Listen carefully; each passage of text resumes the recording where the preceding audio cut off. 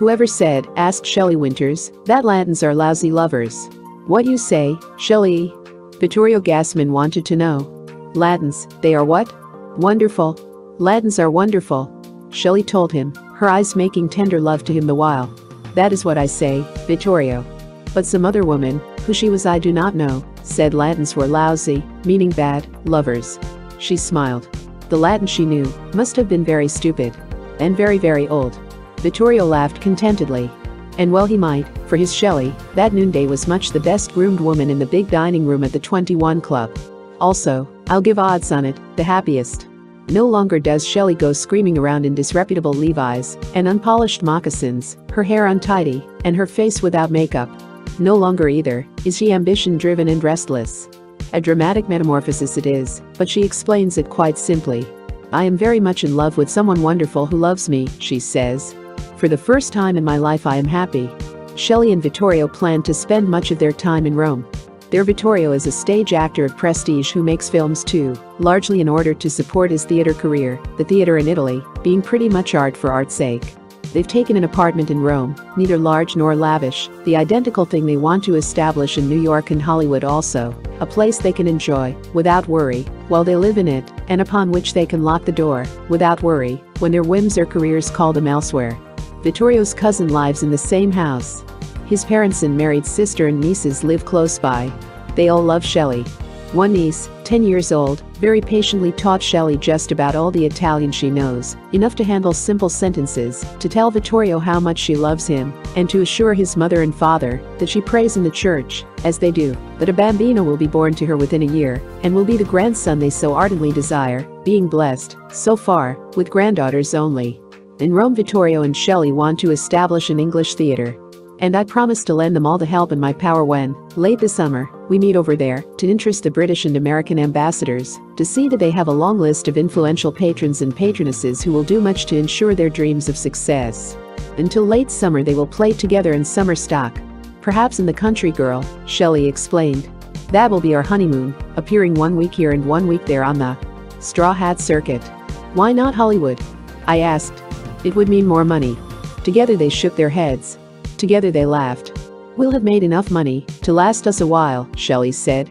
Vittorio will have finished The Glass Wall, which will be filmed in New York, almost entirely on 42nd Street. And I will have finished Letter from the President at MGM. She turned serious. She reached for her husband's ready hand. We do not, she said, want to get caught up in any Hollywood pattern, feel we have to have an elegant house, servants, expensive cars, give parties. Once you do, that you never can be free. Once you do, that you cannot stop making movies, however much you may wish to do something else. And once you oblige yourself to make a lot of movies, well, you cannot be independent anymore. You must do what the producers tell you to do, when they tell you to do it, as they tell you to do it. Vittorio and I want to be free. We want to live in different parts of the world, do what interests us, have a family, good girl. Vittorio patted her hand. Vittorio grinned happily, good girl, Shelley. Shelley laughed. I am his student. Aldous he taught me. That is why he says, good girl Shelley.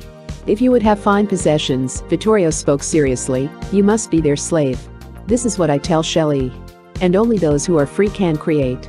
You, young man, I said, are telling Shelley the wise things my father told me when he was dying. I listened to him, have never burdened myself with possessions and I have been happy. With Vittorio signed to a long-term contract at MGM, his first picture for them will be Sombrero, to be filmed in Mexico. I wonder whether he and Shelley will be able to keep their firm resolution to remain free. I feel somehow they will. Did you, Shelley asked quietly, see Vittorio in Bitter Rice? Her manner made it clear that, if I had seen him in this Italian film it was unnecessary for her to say anything more about his artistic capacity. In her humble approach to good acting Shelley has not changed. For 18 years, ever since she was 11, and her family moved from St. Louis to Brooklyn, so she would be near Broadway, she has cared terribly about acting. She quit the distinguished American Academy of Dramatic Art because she did not like its rigidity at the theater department of the New School for Social Research she studied with better purpose. She worked as a model to pay for her dramatic training. She had her first Broadway engagement at 18. And for four discouraging years in Hollywood she refused the long bob, artificial makeup and fancy clothes with which one studio after another tried to force her into the conventional Hollywood glamour mold. She got her break as an actress, not a glamour girl, in a double life. and last year in another acting job as the loving but unloved little factory girl in Place in the Sun she broke her audience's hearts, won a Photoplay citation for one of the five most popular performances of the year, and was nominated for an Oscar which I warned her she would never get. She isn't as popular as she might be in Hollywood because she isn't a yes girl. Because her intellectual honesty has antagonized the wrong, or the right, people because, also, impulsive, lonely, and ambition-driven, she has in the past cut such didos as only a few ever have taken the trouble to understand. Farley Granger understood her, I think. That was the bond between them that made them think they might be in love, even when they knew they were not. Her mother, Rose Schrift, always has understood her. She had to. Take, for instance, the Darrows invited her old friends from St. Louis, who had not seen Shelley since the Schrifts had moved to Brooklyn, to tea. The ladies could not wait to see the taffy-haired kid they had known years ago as a movie star. When Shelley arrived, tea was long over. The ladies almost died. For Shelley, about to leave the studio, had remembered a dozen things she had to do and had done them. Consequently her hair was not smooth, her slacks were not pressed, her beach jacket was a sight, and upon her movie star face there was not a speck of makeup. Hi, Mom, she called. What a day. Boy, have I been on the go. Whereupon, refusing to be a movie star on parade she shed her shoes and strode around the room in her socks. Soft carpets feel wonderful when you get rid of your shoes, she informed the delegation. Her mother and father both used to tell her how life would change for her when she met Vittorio Gassman. But since they had never heard of Vittorio they couldn't call him by name. They spoke of him as the man she would meet one day, with whom she would look forward to a real marriage and children. The real reason you are so hectic, Rose Schrift told Shelley over and over, is that the right man hasn't come along, so far. When you meet him you'll feel differently, and act differently. You'll see. How right she was.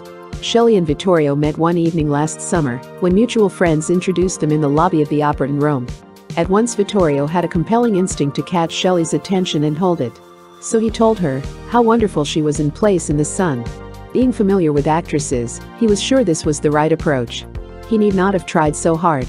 For she had a compelling instinct to catch his attention and hold it too. I began our friendship or our love, if you believe in love at first sight, some do not, with a lie, Vittorio said.